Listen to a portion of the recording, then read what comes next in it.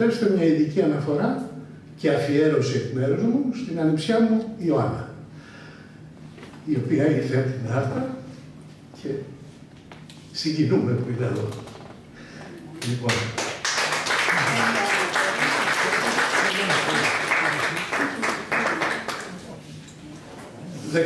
18 Δεκεμβρίου 1803. Επειδή πολλοί δεν θυμούνται τις χρονολογίες, είμαστε πριν από το 21. Είμαστε σε εκείνο το τελευταίο σπασμό και ασπασμό του Σουλίου, το οποίο καταραίει από τις εξαγορές, από τις διχόνιες, από τους εγωισμούς κλπ. Παρ' όλα αυτά, από το 1800 μέχρι το 1803, οι σουλιώτες, οι οποίοι μάχονται στα βράχια, χωρίς μπαρουτόβολα, χωρίς τροφές, χωρίς ενίσχυση από πουθενά, δεν χάνουν ούτε μία μάχη. Αυτό το πράγμα είναι στρατιωτικά για όποιους έχουν εδώ παιδεία στην Δυτική και μπορούν να εντρυφήσουν, είναι απορίας άξιων πώς και γιατί συνέβη. Θα σας αναφέρω γιατί δεν είναι απορίας άξιο. Η κοινωνία των σουλιωτών, η οποία πρέπει να ανάγει τα πρώτα, την πρώτη παρουσία της, κατ' εμέ, στο 167 π.Χ.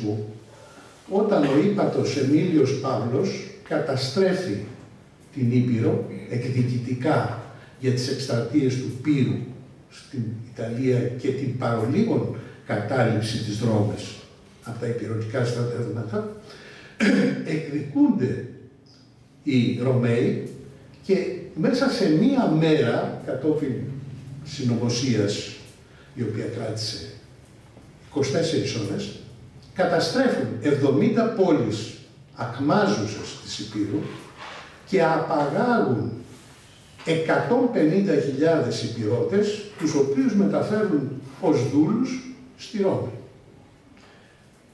Σίγουρα όμως κάποιοι γλιτώνουν. Αυτά τα Άγια Βουνά που ο Πατροκοσμάς είπε ότι έχουν σώσει κατ' επανάληψη την Ελλάδα, φιλοξένησαν τους φυγάδες που πρόλαβαν να λιτώσουν από τη μανία των Ρωμαίων. Θεωρώ ότι κάποιοι από αυτούς βρέθηκαν για πρώτη φορά τότε στα βράχια του Σουλίου. Ίσως φαίνεται περίεργο γιατί κάποιοι ιστορικοί τα αναγάγουν σε μεταγενέστερες εποχές. Εγώ πιστεύω ότι δεν είναι μεταγενέστερες, είναι από τότε. Γιατί; Έχουν διαπιστωθεί κάποια ήθη και έθιμα τα οποία οι σουλιώτες τηρούν και είναι αρχαιοελληνικά. Παράδειγμα, όταν οι Σπαρτιάτες στέλνουν τους 300 με τον Λεωνίδα στις Θερμοπύλες, ο Ξέρξης στέλνει την παραμονή της μάχης κατά σκόπους να δει τι κάνουν οι Σπαρτιάτες. Και οι κατάσκοποι του αναφέρουν ότι αυτοί λούζονται, χτενίζονται, καλοπίζονται και δεν δίνουν σημασία αν την άλλη μέρα θα γίνει σφαγή. Και ο άλλος τρελαίνεται. Τι, δεν έχουν καταλάβει ότι ήρθα εδώ να τους εξαφανίσω; Αμπάρι οι οι Σπαρτιάτες. Και μάλιστα εκεί γίνεται και το περίφημο επεισόδιο με τον, τον Διηνέκη, ε, υπαρχηγό θεωρητικά του Λεωνίδα, όπου όταν έρχεται ο Κήρυκας των Περσών να πει ότι να παραδοθείτε γιατί αύριο θα ρίξουμε τόσα βέλη που θα σκεπάσουμε τον ήλιο. Και ο Διηνέκης απαντάει, καλύτερα να πολεμήσουμε υποσκιά. Αυτό είναι διαχρονικό χιούμορ. Λοιπόν, αυτό λοιπόν το γεγονός, εγώ το βρήκα στο Φογέλ, ο οποίος λέει ότι την παραμονή της μάχης του Κεφαλοβρίσου, που σκοτώθηκε ο Μάρκος Γκότσαρης, στο τρυπόταμο του Καρπελισίου, που ενώνονται τα, τα ποτάμια, Οι σουλιώτες κάνουν ακριβώς το ίδιο. Βάλαν τα καλά τους, βάλαν στεφάνια, πλουστήκανε, τολιστήκανε και αναπέμψανε θεήσεις το ένα το άλλο. Δηλαδή ακριβώς το ίδιο έθιμο τηρείται πόσα χρόνια; Από το 480 μέχρι το 1823. Λογαριάστε πόσους αιώνες. Δεν χάνονται λοιπόν αυτά, ούτε χαθήκανε και ξαναβγήκανε. Είχαν μία συνέχεια. Δεύτερο στοιχείο που εμένα με πείθει ότι οι Σουλιώτες ήταν απόγονοι αρχαίων Ελλήνων. Αναφέρεται, ε, δεν θυμάμαι αυτή τη στιγμή να μην ψάχνω σελίδες, ότι την Άνοιξη οι Σουλιώτισες, γιορτή γυναικών μόνο, κάνουν τα περίφημα ηρωστένια. Βάζουν αισθήτες, λαμίδες, στεφάνια και κάνουν τελετές αρχαιοελληνικές, σταυράκια. Αυτό το πράγμα όμως στην αρχαιότητα γινόταν και στην Ήπειρο, στις Σιρακούσες της Σικελίας, στη Φεστό της Κρήτης, στη Μικρά Ασία και στην Ελευσίνα. Δηλαδή, πανελλήνιας εκτάσεως εορτές, αρχαιοελληνικές, αναπομπές στην Αθηνά, στην Άρτεμη, δεν ξέρω Έχουν όμως διασωθεί και για να διασωθούν σημαίνει ότι οι σουλιώτισες της εποχής του Ζαλόγου μέχρι εκεί έχουν φτάσει να το ξέρουν. Και μία ακόμη για τους ιστοριοψάχνοντες, πώς χαρακτηρίζαν τότε το Σούλι εξαιτίας της μεγάλης δυσκολίας να το κατακτήσουν και τις καταστροφές που παθαίνανε. Το ονομάζανε κακοσούλι. Αυτό σημαίνει ότι είναι πολύ δύσκολο να το πάρουμε. Ναι, αλλά και ο Όμηρος ονομάζει το ήλιον, την τρία, κακοήλιον. Έχουμε αναφορά λοιπόν Σουλιώτες και Όμηρος από μία γλωσσική σύμπτωση, δεν είναι σύμπτωση, είναι αναφορά συγκεκριμένη με ιστορικά στοιχεία. Έχουμε λοιπόν μια δημιουργία, εννοείται ότι δεν μένανε πάντα οι ίδιοι, έτσι, ήταν αρχαιότεροι, μεταγενέστεροι, κάπου τότε όταν ο Σκεντέρβεης πέθανε και οι στρατιές του διασκορπίστηκαν από Έλληνες και Αλβανούς στην κάτω Ιταλία, στην, στα βουνά της Βορείου Πύρου, εδώ, στα Άραφα κλπ. Στο Σούλι υπάρχει αναφορά ότι ήρθαν τότε οι Μποτσαρέοι και οι Τζαβελέοι, οι οποίοι είχαν έρθει από τη Δράγανη και πριν από τη Δράγανη από τη Δίβρη. Ντίμπρα, κατά τη γλωσσική έκφραση των γειτόνων μας.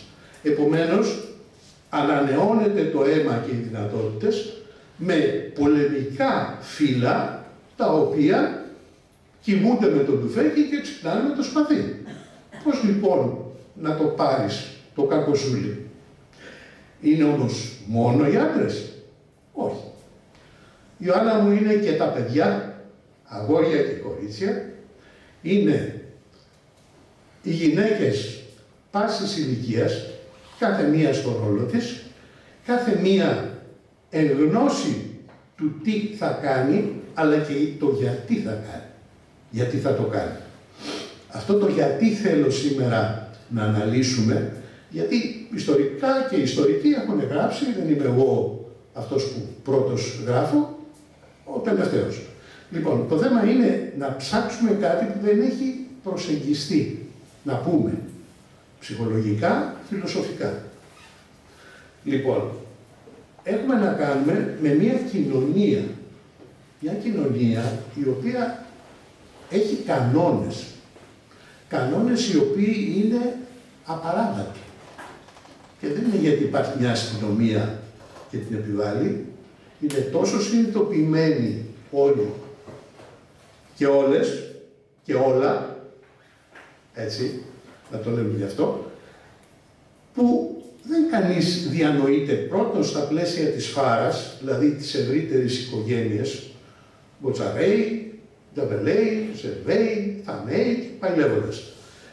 πρώτα στα πλαίσια της φάρας και ευρύτερα όταν συγκεντρώνονται στο κριτήριο της πατρίδας, η Βουλή τους και εκεί αποφασίζουν για σπουδαιότερα πράγματα. Όπου, με ειδική αναφορά στις γυναίκες, δεν απαγορεύεται στη γυναίκα να παραστεί και να πάρει το λόγο. Στο κριτήριο της πατρίδας, που είναι οι μεγάλοι πολεμιστές. Δεύτερον, ο μοναδικός λόγος διαζυγίου που επιτρέπεται, δεν υπάρχει άλλος, είναι να αποδειχθεί ο σύζυγος δηλώς. Εάν αυτό αποδειχθεί, έχει δικαίωμα η Σουλιώτης να προχωρήσει. Για κανένα άλλο λόγο. Είναι ιερός ο θεσμός του γάμου. Μέσα σε τέτοια πλαίσια λοιπόν, ανδρώνονται ή, να το πω καλύτερα, μεγαλώνουν και παιδιά, τα οποία ξέρουν ότι κάποια στιγμή θα συγκρουστούν. Κάποια στιγμή θα πολεμήσουν, κάποια στιγμή θα χαθούν. Το έχουν αποδεχτεί εκ των προτέρων. Γυμνάζονται. Αθλήματα. Αυτό είναι και χαρακτηριστικό των ελληνικών κοινωνιών από αρχαιότητος. Δεν υπάρχει αναφορά ότι κάποιοι άλλοι λαοί κάνανε αγώνες. Όταν λέμε για αγώνες, μιλάμε πάλι με κανόνες και θα μου δώσετε την ευκαιρία να κάνω μια παρέκβαση. Δεν ξέρω αν κάποιος έχει ασχοληθεί με στίβο. Ε, αν ξέρει το πότε καθιερώθηκε το αγώνισμα του πεντάθλου. Το πένταθλο δεν υπήρχε πριν από το γεγονός που θα σας αναφέρω, υπήρχαν τα επιμέρους αθλήματα. Όταν όμως οι αργοναύτες ξεκινήσανε από την Ιολκό και καταλήξαν κάποια στιγμή στην Λίμνο, η βασίλισσα Υψηπίλη τους υποδέχτηκε για κάποιο λόγο οι άντρες των ε, λιμνίων λείπανε και τα παλικάρια εκεί εγκαταστάθησαν κανένα εξάμεινο. Είχαμε μια γενιά μετέπειτα που ήταν απόγονοι των αργοναυτών. Η Υψηπίλη όμως, σε συνεννόηση με τον Ιάσονα, καθιέρωσε αγώνες με εξαιρετικά έπαθλα, τα οποία αναφέρονται. Αναφέρονται πού; Στον uh, Ορφέα. Ο Ορφέας περιγράφει στους ορθικούς ε, στα αργοναυτικά του τις λεπτομέρειες αυτές. Εμφανίζεται όμως για πρώτη φορά και ο νικητής του πεντάθλου. Ποιος είναι αυτός; Είναι ο Πηλέας, ο πατέρας του Αχιλέα, ο οποίος νικά στο δικό του αγώνισμα, δεν είμαι πρόκειτος να σας πω ποιο ήταν, αλλά έρχεται και δεύτερος στα υπόλοιπα τέσσερα τα οποία είναι εξίσου δυνατοί και ονομαστοί αθλητές. Και τιμάται όχι μόνο για το ατομικό του αξίωμα, αλλά και για το πένταθλο. Λοιπόν, ε, αυτό το πράγμα σαν λεπτομέρεια που δείχνει ότι οι οργανωμένες αρχαίες ελληνικές κοινωνίες που κακώς αποκαλούνται μυθολογικές. Δεν υπάρχει μυθολογία. Υπάρχει ιστορία που δεν είναι επαρκώς χρονολογημένη. Διότι γεγονότα να τα φανταστεί κάποιος και να τα πλασάρει δεν γίνεται. Γίνανε, απλά πρέπει να ερμηνευτούν και να χρονολογηθούν έστω και κατά προσέγγιση. Ε, αυτά λοιπόν τα γεγονότα, τα αθλητικά, τα βλέπουμε στο Σούλι. Ξέρουμε ποια ήταν αυτή που έπαιρνε πέντε στο σπαθί και δέκα στο μπουφέτι. Η Χάιδο Ισέχου. Ξέρουμε ποια ήταν ελάφι στο τρέξιμο. Η Λένη του Μπότσαρη. Ξέρουμε για συγκεκριμένες σουλιώτισες και σουλιώτες που διακρίνονταν για συγκεκριμένες ιδιότητες που είχαν αναπτυχθεί με αυτή την καθημερινή, επιτρέψτε μου τη λέξη προπόνηση, δεν ήταν προπόνηση, ήταν επί των αγώνων πάντα. Λοιπόν, έχουμε λοιπόν μια κοινωνία η οποία δεν έχει πολλά αλλά είναι πολλά. Δεν έχουν τροφές, δεν έχουν ανέσεις, δεν έχουν δεύτερα ρούχα, δεν έχουν τις ανέσεις που μπορεί να φανταστούμε εμείς για τη σημερινή μας ζωή ή και των προηγουμένων κόστα γενεών. Έτσι. Λοιπόν, αυτό το πράγμα λοιπόν έχει μια, την πρώτη σημασία. Δηλαδή, τι υπερασπίζουν οι σουλιώτισες και όταν έρχεται η ώρα να θυσιαστούν, προτιμούν τη θυσία από μια εύκολη εχμαλωσία που ενδεχομένως για κάποιες να είχε και ανέσεις, να είχε ξέρω εγώ και παροχές κλπ. Όμως και στο Ζάλογο και στο Σέλσο και στον πύργο του Δημολά με τραγικές επιλογές. Ή βάζουμε φωτιά στον παρούτι και την αζόμαστε, ή πηδάμε από τα βράχια, ή στο Σέλσο μαχόμενες. Αυτό σημαίνει ότι κάτι τις ορθούσε και τις έβαζε σε σκέψεις. Και εδώ ερχόμαστε αυτό στο χώρο του Ζαλόγου. Υπάρχουν ιστορικοί που το αμφισβητούν. Αμφισβητούν αν έγινε ο χορός. Έχει σημασία η αμφισβήτηση, όπως έχει σημασία και για μας να αποδείξουμε ότι έγινε. Επειδή σαν δικηγόρος έχω μάθει να ψάχνω τις αποδείξεις, έχουμε γραπτή μαρτυρία. Το καιρό του 1800, ο Αλή Πασάς, εκτός από τους σουλιώτες που είχε στο σβέρκο του και τον παιδεύανε, είχε βάλει και στόχο να τα βάλει με το Σουλτάνο. Και άρχισε να ετοιμάζει στρατεύματα. Στα στρατεύματα αυτά προσκάλεσε από την Ευρώπη μισθοφόρους και εκπαιδευτές και πολεμιστές.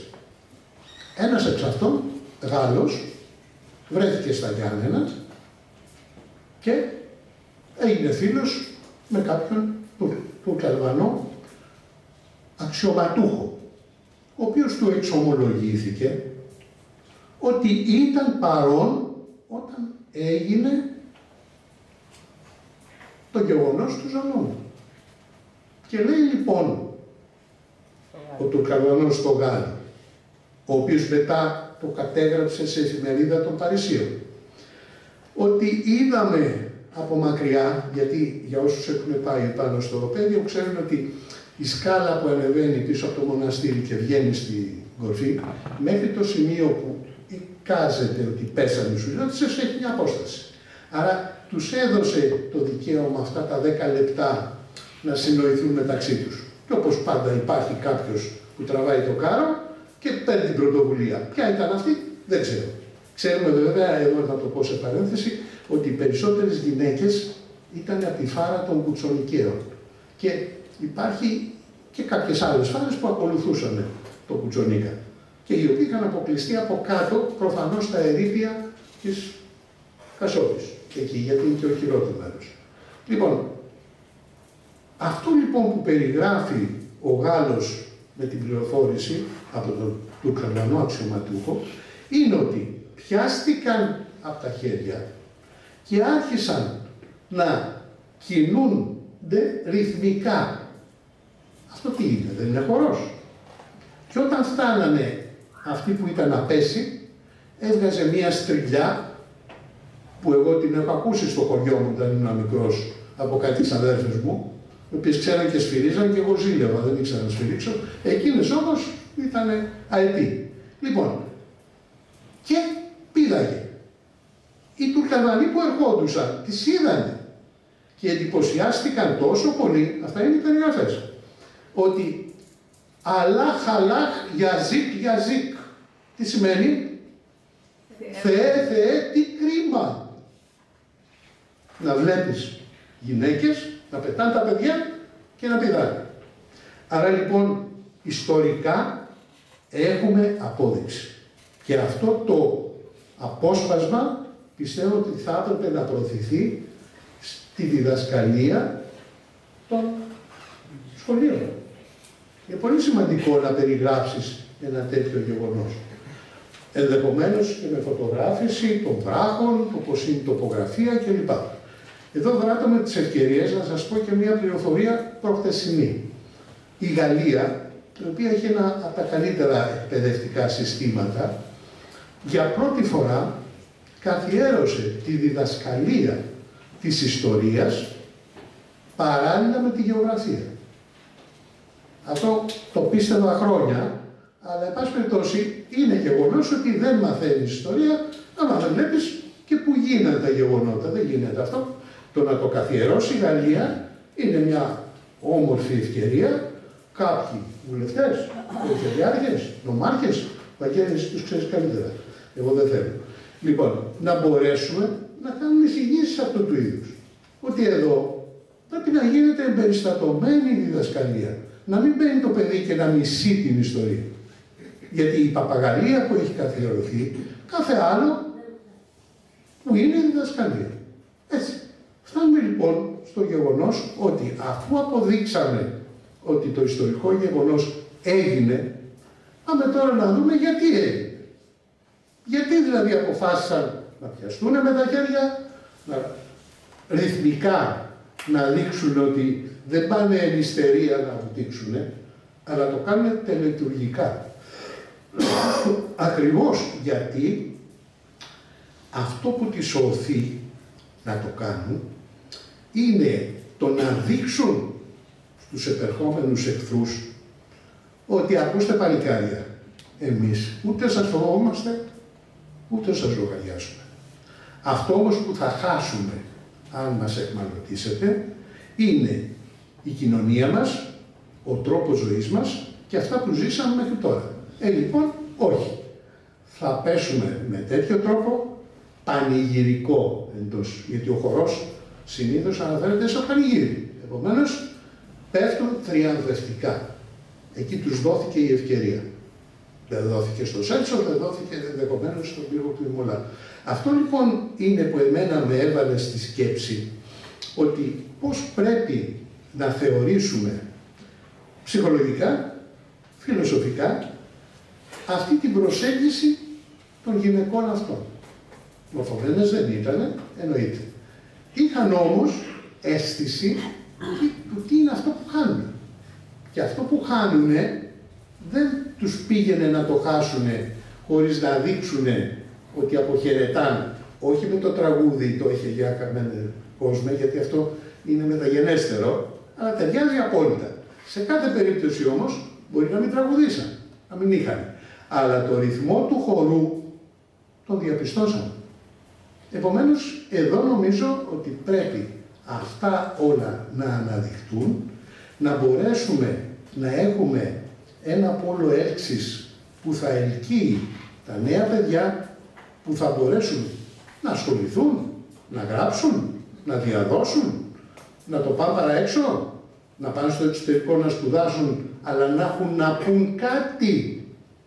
Δηλαδή δεν μπορεί η Ευρώπη να έχει αφετηρία τον Καρλομάγνο, όπως έγραψε ο ιστορικός ο κ. Ζέλ, πληρωνόμενος από την Ευρωπαϊκή Ένωση, και ότι δεν έχουμε αναφορά σε Ελληνίδες όπως έχουμε για τη Ζαντάρ των Γάλλων ή δεν ξέρω τη Μαριά Στιουόρτ, δεν ξέρω τι. Δηλαδή η Αντιγόνη δεν υπάρχει. Έτσι, δεν έχουμε Ελληνίδες οι οποίες προήγαγαν το πνεύμα, το ήθος και τώρα στη νεότερη εποχή η ευκαιρία μας δίνεται με τις Σουλιώτισσες. Έτσι. Θεωρώ λοιπόν ότι αυτή είναι η προσέγγιση που πρέπει να έχουμε σε αυτό το γεγονός. Και βεβαίως τιμώ πάρα πολύ και την κυρία Όλγα που επιμελήθηκε της ταινίας των παιδιών και θα την απολαύσετε αμέσως μετά. Γιατί να που βρέθηκε μια ομάδα νέων μαθητών που έχασε χρόνο από άλλες ασχολίες και κάθισε και έκανε μια ταινία η οποία αναφέρεται, θα τη δείτε, ε, καταπληκτική. Λοιπόν, μπορεί να μην είναι ακριβώς τα γεγονότα στα συγκεκριμένα βράχια ή δεν ξέρω τι.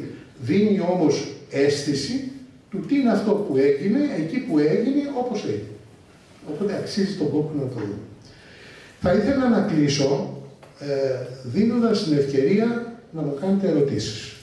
Νομίζω θα έρθουμε πιο κοντά και θα το ολοκληρώσουμε. Σας ευχαριστώ πάρα πολύ που είχατε την υπομονή αυτή.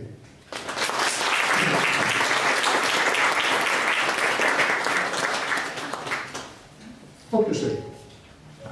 Το όνομα του Γάλλου μπορείτε να μας πείτε ε, Ναι, αν το ανοίξω εδώ, αμέσως.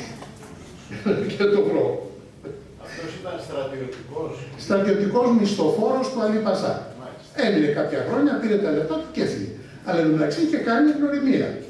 Και τα έχω μέσα στο βιβλίο αυτά, αλλά μην το ψάξω γιατί θα χάσουμε την επικοινωνία. Ακούω. Ναι, πρόεδρε. Μανσούρ Εφέντη λέγονταν. Ο Μανσούρ, μπράβο, Μανσούρ Εφέντη. Ο αρχηγό ηθό του Καρβανού λεγόταν Σουλεϊμάν που τα περιγράφει.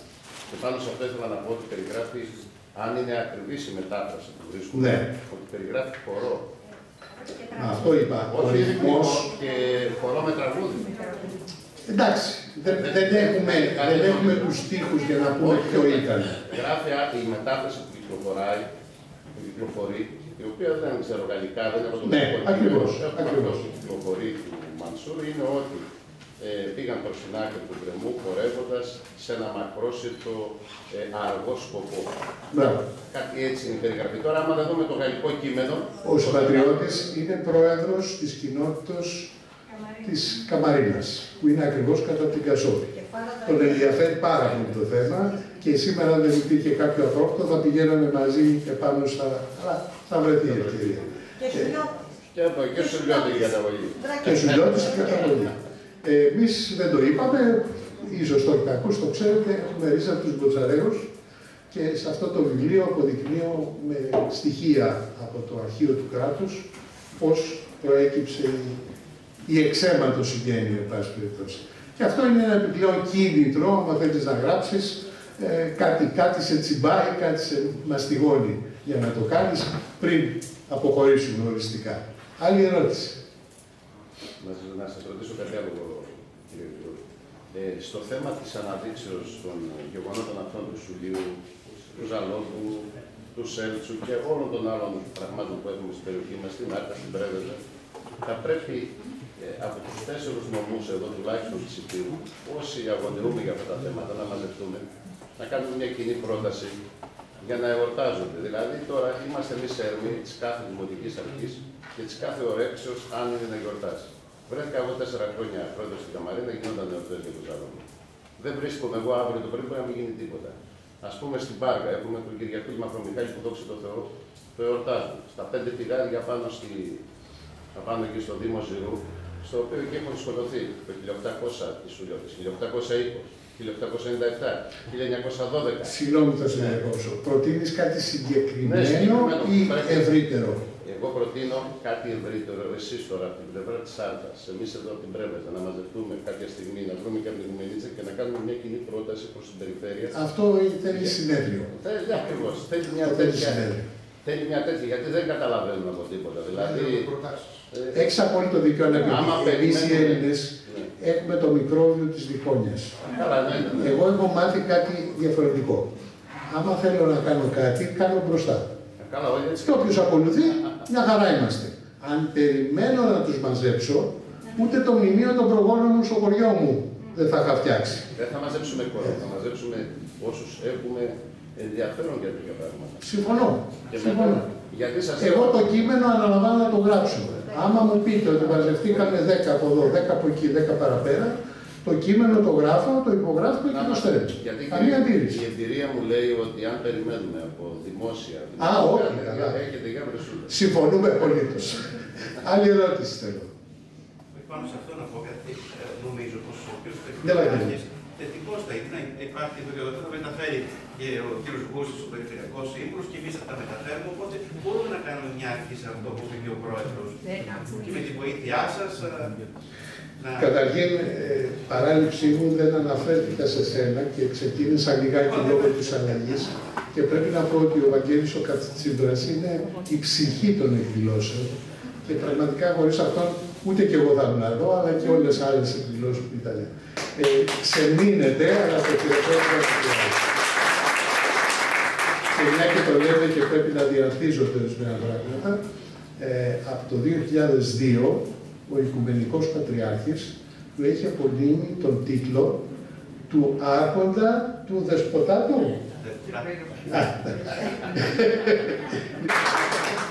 Άλλη ερώτηση. Είπατε ότι θα, θα μιλήσετε και θα το δείτε το θέμα λίγο από φιλοσοφική. Αυτό έκανα. Χρησιμοποιήσετε μερικές λέξεις, δεν θα τις επαναλάβω. Ναι, Θα επαναλάβω τη λέξη εδώ που συμφωνήσετε. Ας το δούμε οι λίγοι. ναι. Δεν φτάνει. Αρχή. Πού θέλω να καταλήξω. Πέρα από την αναζήτηση, τη φιλοσοφική, τη συναισθηματική, πέρα από οποιαδήποτε άλλη λέξη που μπορεί να χαρακτηριστεί με οποιοδήποτε άλλον τρόπο, πέρα από τη συγγραφή ενός βιβλίου, εσείς θα προτείνατε κάτι, έστω και ως χαρακτηρισμό, έστω και ως ε, απόδειξη ότι κάπου χάθηκε στο διάμεσο, χάσατε κάτι. Έχετε να προτείνετε... Ποιο χάθηκε; Δεν ξέρω. Θέλω να πω ότι λέτε για τα, είπατε για τα παιδιά. Θα πάνε στο εξωτερικό, θα κάνουν, θα ράνουν, θα σπουδάσουν. Θα έχουν να πούν, να πούν τι, σε ποιον, στον οτιδήποτε και γιατί. Θα έχουν να πούν μόνο. Μα το να πούνε είναι η απόδειξη ότι ξέρουν και να αναδείξουν γεγονότα. Δηλαδή ένας Σκοτσέζος, Ο τρόπος ζωής. μισό λεπτάκι, μισό λεπτάκι. Ένας Σκοτσέζος σήμερα, μετά το φοβερό έργο Braveheart, δεν έχει ανάγκη να αποδείξει, διότι όλος ο κόσμος ξέρει τους αγώνες του Σκοτσέζου. Εμείς δυστυχώς δεν είχαμε εδώ έναν αντίστοιχο σκηνοθέτη να προβάλλει μια ταινία που θα τη χρηματοδοτούσε προφανώς αυτό το έρημο κράτος για να αναδείξουμε γεγονότα. Ακόμη και η κινηματογραφικής σχολιγουντιανής ε, προσέγγισης των 300 της ταινίας αυτής που υπόθηκε, ξεσήκωσε ενθουσιασμό. Ε, Εγώ επικοινωνώ μέσω των βιβλίων με τη Χιλή. Ξέρετε ότι στη Χιλή έχουμε 22 ελληνικά σχολεία. Στην Ουρουγουάη, στον Καναδά, έχουμε επικοινωνίες. Στέλνουμε βιβλία. Αυτά που έχουμε να προβάλλουμε από τα βιβλία, αν είναι τόσο σημαντικό, αλλά και από γεγονότα που είπαμε ότι αν οργανωθούμε λίγο καλύτερα και έχουμε να προβάλλουμε κάτι, με αυτές τις προσεγγίσεις που έκανα εγώ και με όποιες άλλες θέλει κάποιος άλλος να προβάλλει. Είναι έδαφος έφορο για να γίνουν. Μην ξεκινάμε αρνητικά. Το θέμα είναι τι μπορούμε να κάνουμε. Εγώ περισσότερο ήθελα να μιλήσω για αυτό που είπατε και εσείς για τα παιδιά. Ναι. Γενικότερα, ανεξάρτητα- Από εκεί ξεκινάμε. Με ανεξαρτήτου ηλικίας. Από εκεί ξεκινάμε, από τα παιδιά. Είτε είναι. Αλλά γιατί μάλλον αυτά να είναι 50. Ε, φαίνεται, έτσι όπως παρουσιάζονται, όχι μόνο στη σημερινή ημέρα, όπως παρουσιάζονται όλα τα ανάλογα θέματα, φαίνεται σαν να έχει κάτι χαθεί και φαίνεται σαν να είναι και λίγο ε, όχι ευχάριστο να υπάρχει μια αναβίωση της θύμησης. Γιατί; Άρα, καλή ερώτηση. Γιατί, γιατί είναι αρνητικό; Γι' αυτό ρωτάω εσείς. Α, αυ- αυτό που κάνουμε είναι το να κάνουμε κάτι περισσότερο είναι θέμα υγείας, ηλικίας, χρημάτων, πρωτοβολιών κλπ. Δεν είμαστε όλοι σε μία ευθεία. Είναι κάποιος που δεν έχει καλή υγεία. Και αν συνδεθεί με την προσπάθεια που γίνεται από το συγκεκριμένο ίδρυμα για να καταλήξουν Ναι, ναι, μπράβο. αυτά. Πώς το βλέπει η ελληνική, ξεκινώντας από την τοπική κοινωνία. Πώς το βλέπει. Ο τρόπος που το βλέπει ο εκάστοτε δήμαρχος ή ο περιφερειάρχης ή ο βουλευτής είναι ο τρόπος που το βλέπω εγώ. Γιατί εγώ το ψήφισα. Δεν είμαι σίγουρος. Δεν είμαι σίγουρος. Προσωπική μου άποψη. Οι δήμαρχοι, επειδή έχω κάνει 31 χρόνια νομικός σύμβουλος Δήμου στην Καλυθέα της Αττικής, σε πληροφορώ ότι κάναμε κάποια πράγματα, αλλά αν δεν ήμουν από πίσω να τσιγκλάω, δεν θα γινόταν. Δεν έχουν όλη την όρεξη. Ή μπορεί να την έχουν θεωρητικά, αλλά όταν μπούμε στο πρακτικό θέμα, αυτή τη βδομάδα θα κάνουμε μια εκδήλωση. Αρχίζουν τα προβληματάκια. Και είναι αυτός από το κόμμα μας που το προτείνει ή είναι από κάποιο άλλο να τον βάλουμε στην άκρη. Αυτά δυστυχώς είναι πράγματα εγγενείς παθογένειες της ελληνικής κοινωνίας. Γι' αυτό είπα πριν, ξεκινάω, κάνω αυτό που νομίζω, αν αυτό εκτιμάται και κάποιοι θέλουν να βοηθήσουν, προχωράω. Και αν κάποιος είναι ακόμα καλύτερος και μπορεί να το πάει πιο πέρα, γιατί όχι. Αλλά αυτό που είπες για τα παιδιά που πάνε έξω. Οι σπουδές χρόνια ολόκληρα τώρα γίνονται στο εξωτερικό. Δεν μπορείς να πας απλώς για να σπουδάσεις και είμαι Έλληνας από τα Αγρίνιο. Εί- Είμαι από εκεί που έγινε αυτό και αυτό και αυτό. Και κάτσε κάτω να σου το πω. Με λείπει αυτό. Ε, εντάξει, γι' αυτό κάνουμε αυτού του είδους τις εκπαιδευτικές κατά κάποιο τρόπο ε, συνελεύσεις και συγκεντρώσεις για να μπορούν οι πληροφορίες που εγώ μάζεψα με κόπο να είναι κτήμα τώρα δικό σας και κάποιο νεότερο παιδιό που ενδεχομένως θα θέλει να τα προάλλει. Άλλη ερώτηση; Ναι, Σας ευχαριστούμε για την ομιλία. και εγώ ευχαριστώ. Όταν διάβασα τον τίτλο της ομιλίας μου, ήρθε στο μυαλό η ρίση του Σοκράτη ότι η φιλοσοφία στη μελέτη θανάτου. Και τώρα χρησιμοποιώ λίγο το διαδίκτυο από εδώ για πέντε σειρές. Μα σχέση στο πέδο να λέει ο Σοκράτης. Για μένα είναι φυσικό ένας άνθρωπος που αφιέρωσε τη ζωή του στη φιλοσοφία να μην υποψυχεί την ώρα που πρόκειται να πεθάνει και να ευελπιστεί πως όταν πεθάνει θα έχει εκεί μεγαλύτερα αγαθά. Σωστό. Και σκεφτόμαστε τώρα τις φιλιώσεις, προφανώς δεν είχαν μελετήσει Πλάτωνα. Αλλά είναι τελικά φαίνεται ότι υπάρχει κάτι εγγεγραμμένο. Να η φιλοσοφική προσέγγιση που λέω. Στο DNA. Σε ευχαριστώ αγαπητέ, ήταν ακριβώς αυτό που και εγώ έτσι το είχα αντιοράτω στο νου. μου. Και έχει Έτσι. σημασία, είναι δίκαιο στη σημερινή εποχή με τους τόσους πειρασμούς και τις ειρήνες να παραμείνει αυτή, αυτό το βίωμα, αυτή η μνήμη μέσα στις. Σε συνδυασμό των δύο ερωτήσεων. Το θέμα είναι να τραβήξουμε τα παιδιά έξω από τα- το χουλικανισμό, έξω από τη- το τυποτόφρονο περιβάλλον, από γεγονότα και πληροφορίες που τους κάνουν να αποπροσανατολίζουν και να τους δώσουμε ελκυστικές προτάσεις για να ασχοληθούν, όπως η ομάδα των παιδιών, να κάνουν κάτι καταπληκτικό. Εγώ ρωτάω, αν αυτό προβληθεί και βραβευτεί, δεν θα ακουστεί, δεν θα δοθεί η ευκαιρία να είναι μ- μιμητές, να βρεθούν κριτικά παιδάκια που θα γράψουν για την ανατείναξη του Αρκαδίου. Είναι πρότυπο το γυμνάσιο και αναζητούνται Ε, πρότυπα. αυτό το πρότυπο κάτι λέει, δεν είναι κενό περιεχομένου, είναι σημαντικό. Δεν ήταν πρότυπο όταν έγινε η ταινία. Η ταινία έγινε στο πλαίσιο των Δεν εορτασμών για το ακούγεται. 2021 και έγινε ε, για το, για το 200 χρόνια από την Επανάσταση και έγινε εν μέσω καραντίνας όλη αυτή η προσπάθεια. μάλιστα. Ορίστε. Το 2021 Να, να και που η καραντίνα ενήργησε θετικά. Θες να ρωτήσεις κάτι; Όχι, εντάξει. Γρηγόρη, να ανακοινώσω και κάτι τώρα. Ναι. Εγώ θα ανακοινώσω κάτι που μπορεί να μην ξέρουν τα. Πες το, δυνατά και καθαρά. Λοιπόν, Προσέξτε να δείτε τώρα. Εγώ αυτά τα χρόνια που κάνω σε εκδηλώσεις στο Ζάλογο βρήκα χορηγό και για να εμπλέξω τα παιδιά στην όλη διαδικασία, σχολείο ω γνωστό δεν έχω στην Καμαρίνα, πήγαμε στο πλησιέστερο σχολείο στον Ρόκο. Είπαμε στα παιδάκια όποιος ζωγραφίσει 5η-6η δημοτικού για το Ζάλογο και τις ζωγραφιές θα τις έχουμε στο Λογογραφικό Μουσείο. Την πρώτη χρονιά είχε μια τσάντα, ε, όχι ευτελές αξίες, 50-60 ευρώ ήταν η κάθε τσάντα του παιδιού. Σας πληροφορώ, γράψανε και πέτρες, ζωγραφίσαν και πέτρες με τα παιδάκια, ζωγραφίες για το Ζάλογο και τις βάλαμε πάνω στο μουσείο. Μάλιστα. Συνέχισα λοιπόν μετά και προσπάθησα να κάνω, να γίνεται πανελί, ε, πανπρεβεζάνικη έκθεση της Δευτέρας Λυκείου με θέμα το Ζάλογο και να βραβευτεί ο πρώτος, ο δεύτερος και ο τρίτος μαθητής. Επειδή είναι δύσκολο, περνάει από το Υπουργείο, επέλεξα την πρώτη χρονιά το Λύκειο. Ποιο είναι εκείνο της κυρίας Παπαμιχαήλ, εκεί το πρώτο, το δεύτερο. Ε, που λέει η Σοφία είναι από το χωριό μου, λέει θα γράψω. Μόλις ακούσουν λέω ότι το πρώτο βραβείο είναι λάπτοπ και το δεύτερο και τρίτο τάμπλετ, θα γράψουν λέω και αυτοί που δεν γράφουν στην κανονική έκθεση. Και έτσι ακριβώς έγινε δάσκαλε. Γράψα αυτό. Και στο πρώτο, γράψανε και οι 20 μαθητέ που ήταν, πήρε το, βραβεύτηκε ε, πάνω στο ζάλογο η πρώτη πήρε το λάπτοπ και αυτό ήταν ο πανηγυρικός των εκδηλώσεων για να αποφύγει και τους πολιτικούς. Το ίδιο έκανα και τη δεύτερη χρονιά με το άλλο το βίντεο. Αυτό έγινε στον τόπο επάνω; Πάνω στο ζάλογο. Και Άξιο. είναι ο πανηγυρικός της ημέρας. Ούτε... Ε, να το επεκτείνουμε λίγο. Εκτός από το ζάλογο, είπαμε ότι έχουμε και την καμαρίνα. Εγώ έχω επιφυλάξεις Α, αν το δεν ήταν πάνω. το πάνω θα γράφανε. Έχουμε την Κασόπη. Έχουμε την Κασόπη. Ναι. Από ό,τι θυμάμαι, πέρα από το θέατρο που είναι πάνω δεξιά, αριστερά είναι το βουλευτήριο. ναι. Αυτό προσφέρεται για μία εκδήλωση αυτού του είδους.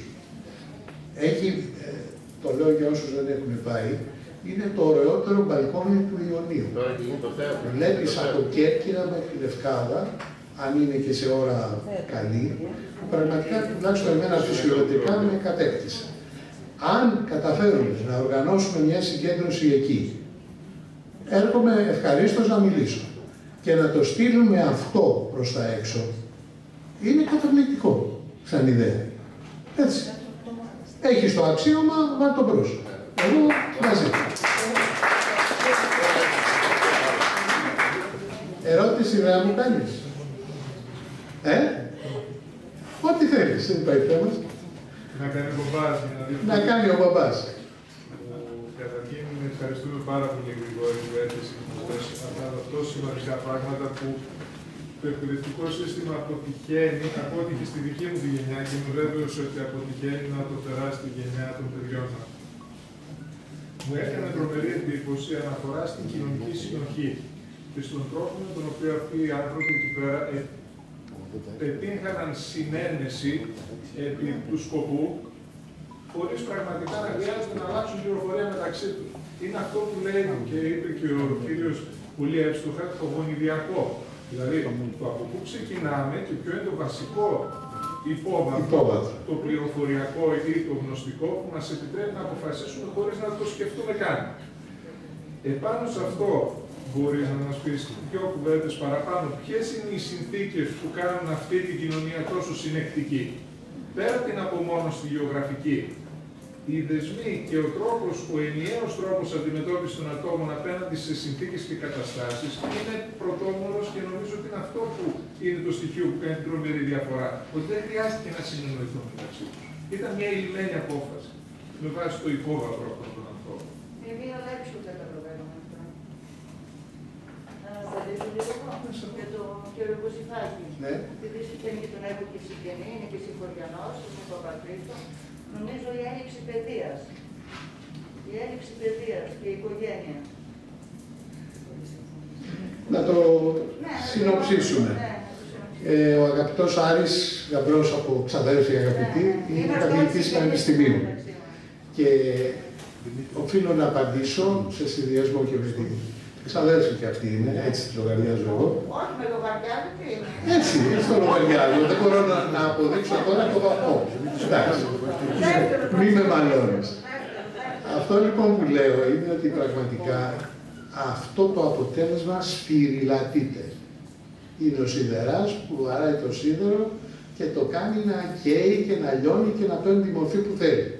Αυτό λοιπόν έγινε στις δύο-τρεις αιώνες που οι κίνδυνοι, οι κακουχίες, οι στερήσεις σφυριλάτησαν μία κοινωνία η οποία ήξερε ότι αν ο ένας χαλάσει, θα χαλάσουν και οι υπόλοιποι. Και αλληλοστηρίζονταν. Δεν μιλάω για ιδανική κοινωνία, έτσι. Και εκεί είχαμε τους έρωτες, είχαμε και τα μίση, είχαμε και ξέρω εγώ ε, ζηλοφθονίες και λοιπά. Και άλλωστε αυτό ήταν στο τέλος που... Χάρηκα πάρα πολύ που και παρακολούθησα την ομιλία από την παραεκόμενα. Ε, βέβαια ακούγοντά σας, μείνει καθενό τον Γκάλο που συνοδεύει πάρει. Δύο εκφράσεις για τα μεγάλα και διακριτή τώρα που η Θεή έκανε από τον άνθρωπο είναι από αυτό ο νους που αποφέρει τη δικαιοσύνη. Αλλά και μια ακόμα έκφραση την οποία ίσως πρέπει να διορθώσουμε. Κάποιον λόγο για τους Παγινού, θα πει ψυχή ανδρική απορρίπτει φρόνημα χαμερπές τη δικαιοσύνη. Σήμερα εσείς μας δείξατε ότι ίσως η λέξη ανδρική ήταν σε εποχή. Θα έπρεπε να πούμε και ψυχή γυναικεία. Έτσι. Αυτό προσπάθησα να αναδείξω. Και, να πούμε ότι υπάρχει, να πούμε πάμε στον Χριστό, άρα και δίλη, υπάρχει απλώς Έλληνας. Ο οποίος έχει αυτές τις ιδιότητες, τις οποίες πάλι μας αναδείξατε πραγματικά σε αυτή την εποχή ήμασταν, ζούσαμε και εξακολουθούμε να είμαστε Έλληνες. Θα πρέπει οι άνθρωποι σαν εσάς να μας δείχνουν τον δρόμο ώστε πραγματικά όχι να λεγόμαστε, αλλά να είμαστε Χαίρομαι πάρα πολύ για τις προσπάθειες και τις προτάσεις του Πρόεδρου τη Καμαρίνα και νομίζω πραγματικά ότι το τοπική αυτοδιοίκηση, εγώ νομίζω ότι οι δήμαρχοι έχουν κάθε δίκιο να παραβλέπουν κάποια πράγματα για τέτοια η καθημερινότητα και τέτοια προβλήματα που έχουν, τα οποία πραγματικά ε, κάποια στιγμή το ουσιώδες ξεπερνάει το τυπικό, ξεπερνάει το επίγον. Το επίγον πάνω είναι σημαντικό. Ίσως τα σημαντικά θα πρέπει εμείς η κοινωνία των πολιτών να τα αναδείξει και μέσα από τις εκδηλώσεις της σημερινής και μέσα από τις διεκδεδομένε πάρα πολύ ωραίε ομιλίε που κάνετε πραγματικά. Μου δίνετε δάσκαλο τη δική μα ωραία εποχής και ειλικρινά μου δώσετε πάρα πολύ μια, ένα πάρα πολύ ωραίο πρωινό και εσείς αλλά ταυτόχρονα και εξαιρετικοί άνθρωποι και συμπολίτε που παρακολουθήσαν την εκπομπή εκδήλωση. Είπαμε, δεν, δεν είναι απαραίτητο να είναι όλοι μαζί, αρκεί να είναι αυτοί που πρέπει να είναι. Νομίζω ότι εδώ ε, πρέπει να πούμε ότι ο κύριος δήμαρχος στην ουσία, έτσι δεν είναι; Τέλος, δεν έχει σημασία. Έχετε πάντως εκεί τις ρίζες και την αυτή. Έχουμε και εμείς κάποια από εκεί ρίζα, πάση περιπτώσει. Ε, αυτή την αξία έχουν οι επέτειοι, Διότι ξέρεις εκ των προτέρων ότι στις 365 μέρες του χρόνου αυτές οι πέντε, μία, δύο, τρεις, τέσσερις, πέντε, είναι για αυτό το λόγο. Ε, γι' αυτό παίζει ρόλο η καθιέρωση μιας επαιδείου, η οποία δίνει τη δυνατότητα και στους δημάρχους εκόντες άκοντες να θελήσουν, να συμμετάσχουν, να οργανώσουν και να προάγουν. Γι' αυτό πρέπει να το κάνουμε έτσι. Έτσι, εσύ Βαγγέλη, θα τα πούμε και μεταξύ μας, αλλά έχουμε. Κάποιος που θέλει να πει; Εγώ θα ήθελα κάτι. Πες. Ε, επειδή χθες στη συζήτηση που είχαμε, ε, δείξατε έτσι και το ενδιαφέρον σας για τα νέα παιδιά, για τη νέα γενιά. Που τα νέα παιδιά είναι και το μέλλον. Ε, πρέπει, αυτό, θέλω, αυτό να μας πείτε, ε, πώς, επειδή έχουμε και μικρούς εκπαιδευτικούς εδώ, και, και η δασκάλα, η καθηγήτριά μου, κυρία Τσουμάνη, λοιπόν, ε, πώς ε, τα παιδιά να γίνουν περισσότερο κοινωνοί σε τέτοιες ε, εκδηλώσεις, σε τέτοιες εταιρείες, σε τέτοια ιστορικά γεγονότα ε, και πώς θα τα οθήσουμε εγώ θα διαφωνήσω λίγο με τον πρόεδρο, λίγο τον Θόδωρο Ζωράκο. Ε, Μήπω δεν πρέπει να δίνουμε ε, υλικό κίνητρο, αλλά να είναι άλλα τα κίνητρα. Συνδυασμός. το καλό φαγητό θέλει και αλάτι, θέλει και πιστέρι, θέλει υλικά κλπ. Σε όλα πρέπει να στοχεύσουμε. Ένα νέο παιδί που θέλει να βγει το βράδυ να πάει στο κλαμπ, ας πάει μία, ας πάει δύο, ας πάει δέκα. Μία φορά έχουμε να του προτείνουμε αυτό. Αν το προτείνουμε και είναι δελεαστικό, με όποιο τρόπο, πιστεύω θα το έχω. Έτσι νομίζω. Και γιατί να μην ρωτήσουμε και τα ίδια τα παιδιά. Ναι. Τι θέλετε ρε παιδιά, ναι. Τι σας αρέσει; Κινητό. Α, κινητό, κινητό, κινητό. Αλλά, αλλά εδώ η κόρη μου είναι παρούσα. Όσες φορές πήγαμε στο εξωτερικό ή άλλες πόλεις, ήμουν πρόθυμος να βοηθήσω σε ό,τι μου ζητάγανε, αλλά προηγουμένως θα πηγαίναμε στο μουσείο της πόλης. Το ξέρετε. Δεν υποχρέω να κανένα, αλλά ξέρετε ότι υπάρχει αρχαιολογικό μουσείο στην Μύκονο; Λοιπόν, έχω ρωτήσει 50 γνωστούς. Ζήτημα να βρέθηκε ένας, ο οποίος δεν το ξέρω. Δεν το ξέρω. Και περνάς από μπροστά. Είναι τόσο σκόπιμα αποστασιοποιημένο από τα υπόλοιπα που δεν, και έχει ενδιαφέροντα πράγματα μέσα. Αλλά δεν. Λοιπόν, πρέπει να βρεθεί τρόπος αυτά όλα να το βάλει. Έτσι. Αυτό που είπα για το, για το βουλευτήριο της Κασόπης, ε, να το δουλέψουμε. Άλλη ερώτηση. Με την κουβέντα έρχεται. Παρακαλώ. Να σε καλωσορίσουμε, κύριε Γρηγόρη, στην Ήπειρο. Σε ευχαριστούμε πολύ για την ομιλία. Ε, με πολλά ενδιαφέροντα στοιχεία και για την κοινωνική οργάνωση και για το ρόλο των γυναικών στο Σούλι. Εμείς τώρα αυτά τα συνδέουμε και με τη δικιά μας την περιοχή πάνω, με το Ροδοβίζι που είχαν ιδιαίτερους θεσμούς. Ε, σε συνέχεια της ερώτησης του Άρη που έκανε, ε, ήθελα ε, δύο λόγια να πω ε, για το ρόλο, την, ε, πόσο σημαντικό ρόλο έπαιζε στην κοινωνική οργάνωση και στην ομοιογένεια που, υπήρχε, που υπήρχε, έπαιζαν τα αρματολίκια, που το Σούλι με τα αρματολίκια έτσι πρωτοστάθησε και σε όλη την υπόλοιπη Ελλάδα μετά, αλλά και τα συγγενικά δίκτυα. Γιατί όλα τα ταράφια πολεμούσαν όλοι μαζί, οπότε όλη αυτή η ομοιογένεια και η συνοχή που υπήρχε στην κοινωνία. Με συνοικέσια. Ναι, ναι, και, και τα ταράφια Ακριβώς. που τα ξέρουμε τώρα και από το Ροδοβίζι, νομίζω ότι συνέβαλαν έτσι στην, ε, στην συνοχή κάθε περιοχή που πρωτοστατούσε στους πολέμους. Σε ευχαριστούμε πολύ. Η αγαπητή μου ελευθερία, ανιψιά μου, με τις κόρες της εκεί πέρα, την Αφέλη και τη Βασιλικούλα. Έτσι, καλά τα λέω, δεν ξέχασα. Λοιπόν, δεν την γνώρισα αμέσως, ήταν περισσότερο όμορφη από ό,τι συνήθως. λοιπόν, έβαλε για πρώτη φορά υποψήφια δήμαρχος επάνω στο Δήμο Γεωργίου Καρισκάκη. Επέτυχε ένα πολύ καλό ποσοστό για πρώτη φορά, 44%. Την επόμενη φορά πιστεύω ότι θα τα καταφέρει καλύτερα. Ό,τι μπορούμε να τα κάνουμε. Αλλά έχει τόσα ενδιαφέροντα που είναι επίσης κόρη μου πλέον. Έτσι. Άλλη ερώτηση, παρακαλώ. Ευχαριστώ πάρα πάρα πάρα πολύ.